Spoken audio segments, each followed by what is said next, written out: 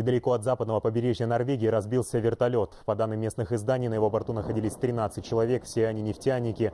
Об их судьбе пока ничего не известно. Очевидцы рассказывают, что слышали взрывы и видели густой столб дыма.